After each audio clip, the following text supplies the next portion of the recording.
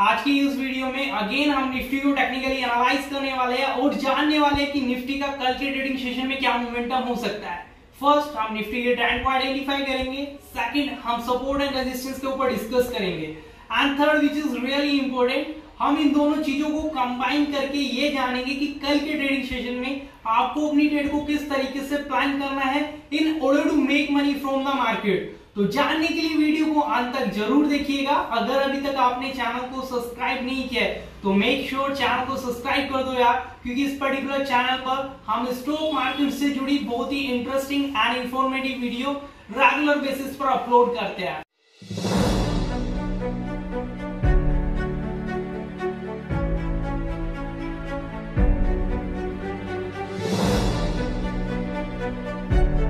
First of all guys यहाँ पर हम निफ्टी के ट्रेंड को आइडेंटिफाई करते हैं और जानते हैं कि जो निफ्टी का पर्टिकुलर ट्रेंड है वो किस डायरेक्शन में मोमेंटम क्रिएट कर रहा है ताकि हम उसी डायरेक्शन में अपनी ट्रेड को प्लान करके अच्छा खासा प्रॉफिट मार्केट से निकाल सके। सो so, जैसा कि गाइज़ मैं आपको हर वीडियो में बताता हूँ जब भी मार्केट के अंदर हाई राइस की सीरीज़ लगती है तो उस पर्टिकुलर सीरीज़ को हम अप ट्रेंड कंसिडर करते हैं। तो यहाँ पर मैं मार्क करके भी आपको दिखा देता हूँ। सो so, जैसा कि गाइज़ आप सभी देख पा रहे होंगे मार्केट ने एक ये लो बनाया था देन मार्केट ने इस पर्टिकुलर लो को ब्रेक नहीं किया और यहीं से रिकवर होना स्टार्ट कर दिया।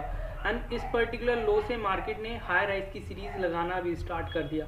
जैसा कि मैं मार्क करके आपको दिखा रहा हूँ। तो ये पर्टिकुलर ट्रेंड अब ट्रेंड कंसीडर किया जाएगा as per the Dow theory तो मार्केट के अंदर अभी जो पर्टिकुलर ट्रेंड चल रहा है वो अप ट्रेंड चल रहा है। बट क्वेश्चन इज़ दैट ये पर्टिकुलर ट्रेंड कब तक अप रहने वाला है? तो बेसिकली गाइज़ यहाँ पर डाउ थ्योरी का एक सिंपल सा रूल मैं आपको बताना चाहूँगा।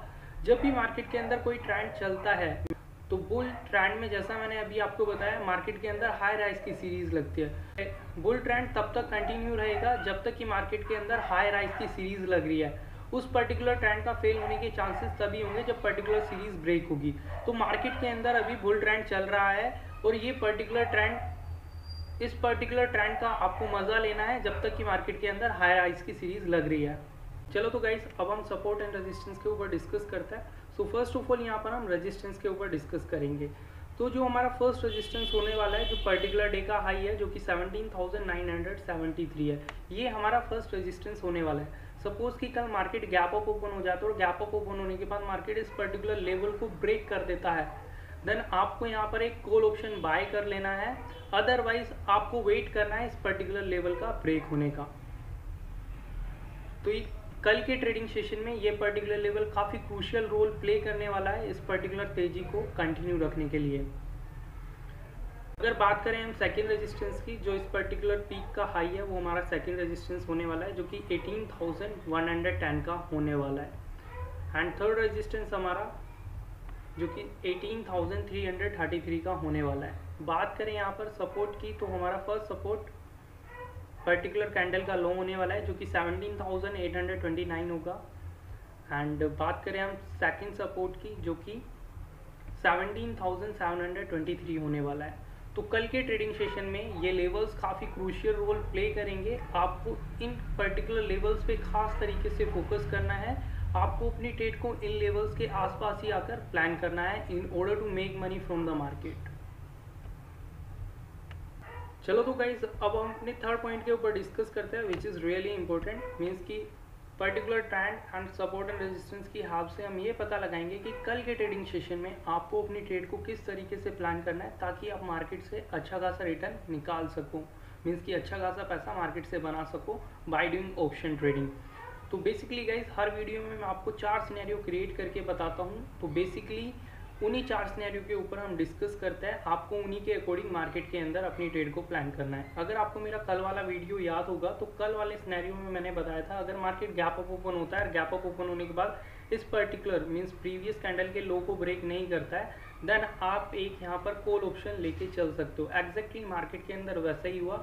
जिन लोगों ने कल का वीडियो देखा होगा होप होप करता हूँ आपने अच्छा खासा मार्केट से आज प्रॉफिट अर्न किया होगा। चलो तो गाइस बात करते हैं स्नैरियो नंबर फ़र्स्ट पे। सपोज़ कि कल के ट्रेडिंग सेशन में मार्केट गैप अप ओपन हो जाता है और गैप अप ओपन होने के बाद मार्केट इस पर्टिकुलर लेवल को ब्रेक कर देता है। जो पर्टिकुलर कैंडल इस लेवल को ब्रेक करेगी that will be the signal candle आपको वेट करना है नेक्स्ट कैंडल का। नेक्स्ट कैंडल कन्फर्मेशन कैंडल होगी अगर सिग्नल कैंडल के हाई को ब्रेक कर देती है। जैसे ही सिग्नल कैंडल का हाई ब्रेक होगा, वैसे ही आपको यहाँ पर एक कॉल ऑप्शन बाय कर लेना है।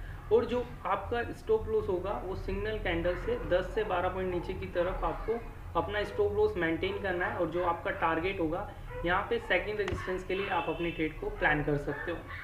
अब हम डिस्कस करते हैं सेकंड सिनेरियो पे। सपोज़ कि मार्केट फ्लैट ओपन होता है। और फ्लैट ओपन होने के बाद मार्केट इस पर्टिकुलर लेवल के आसपास आकर डोजी टाइप में कैंडल बनाना स्टार्ट कर देता है। मीन्स एक्सोस्टेड कैंडल बनाना स्टार्ट कर देता है। तो आपको इस पर्टिकुलर लेवल को ऑब्ज़र्व करना है और वेट करना है जब मार्केट अपने मीन्स फ़र्स्ट रेजिस्टेंस को ब्रेक करेगा, उस टाइम ही आपको यहाँ पर एक बाय ट्रेड एग्जीक्यूट करके चलनी है अदरवाइज़ आपको पर्टिकुलर डे के लिए ट्रेडिंग अवॉइड करनी है। अगर बात करें स्नैरियो नंबर थर्ड की सपोज़ कि मार्केट गैप डाउन ओपन हो जाता है और गैप डाउन ओपन होने के बाद मार्केट इस पर्टिकुलर लेवल को ब्रेक नहीं कर पाता है। मार्केट इस पर्टिकुलर लेवल के आसपास आकर ट्रेड होना स्टार्ट कर देता है मीन्स की एग्जोस्टिव टाइप में कैंडल बनाना स्टार्ट कर देता है। तो आपको वेट करना है मार्केट पर्टिकुलर रेंज को ब्रेक करने का, जो मीन्स पर्टिकुलर डे में मार्केट ने जो एग्जोस्टेड कैंडल से रेंज बनाई है, आपको उस पर्टिकुलर रेंज का हाई मार्क कर लेना है। और लो तो जैसा कि ये पर्टिकुलर सपोर्ट रहेगी। और वेट करना है, जैसे ही मार्केट उस पर्टिकुलर रेंज का हाई ब्रेक करेगा तो जो कैंडल हाई को ब्रेक करे कैंडल के हाई को ब्रेक कर देती है। So that will be the confirmation candle आपको कन्फर्मेशन कैंडल पर एक बाय ट्रेड एग्जीक्यूट कर लेना है। एंड जो आपका इस पर्टिकुलर स्नैरियो में स्टॉप लॉस होगा, वो सिग्नल कैंडल से पाँच से सात पॉइंट नीचे की तरफ़ होगा, और जो आपका टारगेट होगा वो फ़र्स्ट रेजिस्टेंस के लिए यहाँ पर आप अपनी ट्रेड यहाँ पर एक ट्रेड ले सकते हो। अगर गाइस बात करें सिनेरियो नंबर फोर की सपोज़ कि मार्केट गैप डाउन ओपन हो जाता है और गैप डाउन ओपन होने के बाद मार्केट इस पर्टिकुलर लेवल को ब्रेक कर देता है। तो जो कैंडल इस लेवल को ब्रेक करेगी that will be the signal candle आपको वेट करना है कन्फर्मेशन कैंडल का। अगर कन्फर्मेशन कैंडल सिग्नल कैंडल के लो को ब्रेक कर देती है देन आपको यहाँ पर एक पुट ऑप्शन बाय कर लेना है और जो आपका स्टॉप लॉस होगा अगेन सिग्नल कैंडल से पाँच से दस पॉइंट ऊपर की तरफ़ आपका स्टॉप लॉस होगा और जो आपका टारगेट होगा सेकेंड सपोर्ट के लिए यहाँ पर आप ट्रेड लेके चल सकते हो गाइज़ आपको वीडियो पसंद आई होगी जितने भी डाउट्स थे कल के ट्रेडिंग सेशन के रिगार्ड आपके सब क्लियर हो चुके होंगे और कल के ट्रेडिंग सेशन में आप अपने ट्रेड को ईजिली प्लान करके अच्छा खासा प्रॉफिट मार्केट से निकाल सकते हो So if you like the video, just give the big thumbs up, do like and comment and don't forget to subscribe the channel.